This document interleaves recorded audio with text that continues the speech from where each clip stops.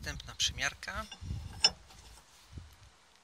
Pasuje idealnie, także można zabrać się za dalsze prace. Pozdrawiam, do usłyszenia.